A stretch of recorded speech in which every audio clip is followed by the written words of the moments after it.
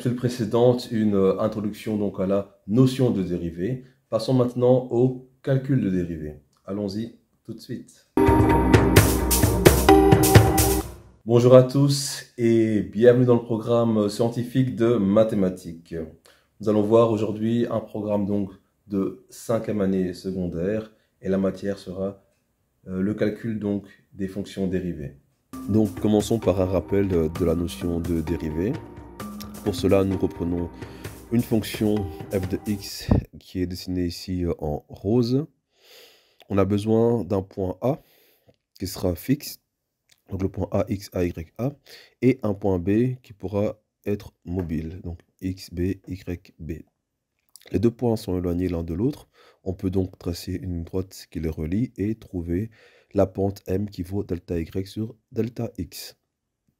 Maintenant, si on rapproche le point B du point A, de manière à ce que la distance soit quasi invisible, c'est-à-dire que delta x tend donc vers 0, on va créer maintenant une droite qui sera la tangente à la courbe au niveau du point A. Cette euh, tangente a aussi une pente. Ce qu'on va donc euh, faire ici, c'est dire que la pente m qui était de delta y sur delta x va être calculée maintenant pour la limite quand delta x tend vers 0. On obtient alors ici dy sur dx qui donne en fait f' de x. Et ce f' de x est appelé la fonction dérivée de f de x. Voyons maintenant quelques règles de calcul sur les dérivées. Nous commençons par la dérivée euh, d'une somme. Donc on a f plus ou moins g à dériver qui nous donne f' plus ou moins g'. Si on passe maintenant à la dérivée d'un produit, on a donc f fois g' qui donne f' fois g plus f fois g'. La dérivée d'un quotient, donc f divisé par g' nous donne donc f' fois g moins f fois g', le tout divisé par g au carré. Et la dérivée d'une composée, nous avons g de f le tout prime qui vaut g rond f fois f prime. Donc, euh, allons voir maintenant la dérivée d'un polynôme. On commence donc par le monôme, c'est-à-dire euh, l'élément qui est constitué euh, d'un coefficient a, d'une variable x et d'un exposant n. La dérivée donc de axn va nous donner ici une formulation qui est à retenir. Donc c'est a fois n fois x exposant n-1. C'est-à-dire que le degré de la dérivée est inférieur de 1 au degré de la fonction de base. Exemple, f de x égale à x cube. On obtient donc f' qui vaut donc 3x carré. Le 3 est passé en coefficient et le degré 3 est devenu degré 2. Voyons maintenant des cas particuliers. Donc, premier cas particulier, si l'exposant est égal à 1, donc a fois x exposant 1, ça veut dire qu'on a une fonction du premier degré. Et on obtient simplement le coefficient a, puisque le degré devient 0. Prenons un autre cas particulier.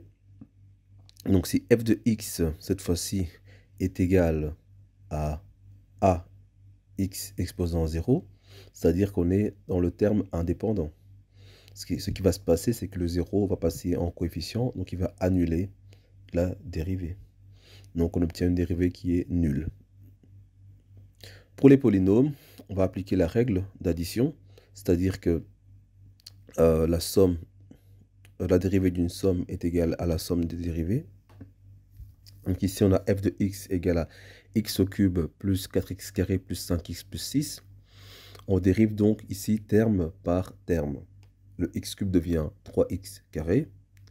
Le 4x carré devient 8x. Ensuite, le 5x qui est du premier degré ici devient simplement 5. Et le dernier terme qui est de degré euh, nul, c'est-à-dire un terme indépendant, on obtient simplement 0. Au final, la dérivée f' de x vaut donc 3x carré plus 8x plus 5. Nous allons voir les fonctions trigonométriques et leurs dérivées. Commençons par le sinus. Le sinus euh, x dérivé, donc sin prime de x, donne simplement la fonction cosinus. Donc, sin prime de x est égal ici à cos de x. Ensuite, on passe à la fonction cosinus. Donc, la fonction cosinus dérivée, c'est-à-dire cos prime de x, va nous donner ici l'opposé du sinus, c'est-à-dire donc cos prime x est égal à moins sin x. Ensuite, la tangente, on va s'arrêter là.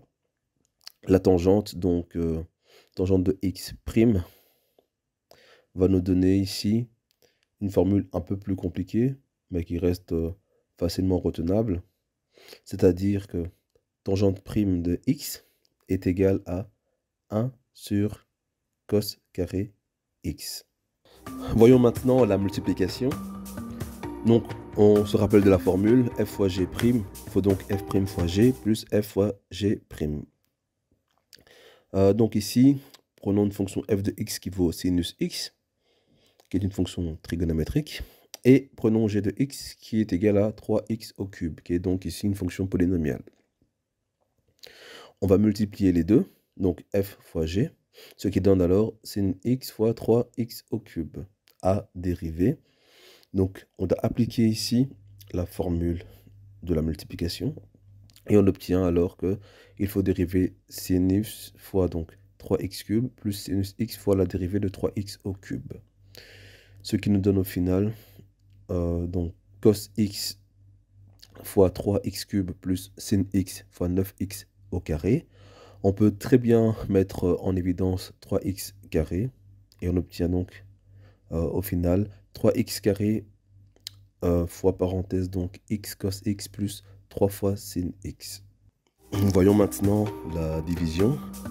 Nous prenons la formule f divisé par g prime donne donc ici f fois g moins f fois g divisé par g au carré. Reprenons les fonctions f de x égale à sinus x et g de x égale à 3x au cube. On peut donc dire ici que sinus x sur 3x au cube prime nous donne donc sin prime x fois 3x cube moins sin x fois 3x cube prime. Le tout sur 3x cube au carré. On obtient alors le cos x 3x cube moins sin x fois 9x carré sur 9x exposant 6. On peut mettre en évidence le numérateur. Donc avec 3x carré, donc comme élément mis en évidence, on obtient alors euh, la possibilité de simplifier 3x carré avec 9x exposant 6. Ce qui nous donne comme euh, réponse finale x cos x moins 3 sin x divisé donc par 3x exposant 4. Passons maintenant à la composée. la composée, c'est une fonction qui est imbriquée dans une autre fonction. On a la formule donnée ici, donc g euh, rond f prime est égal à g prime rond f fois f prime.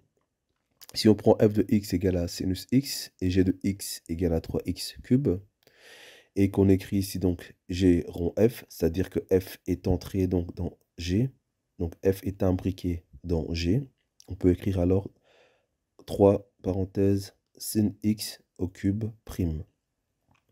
Pour dériver ça, on fait simplement appel à la formule qui nous donne, donc ici 3 euh, fois 3 sin carré x fois sin prime x.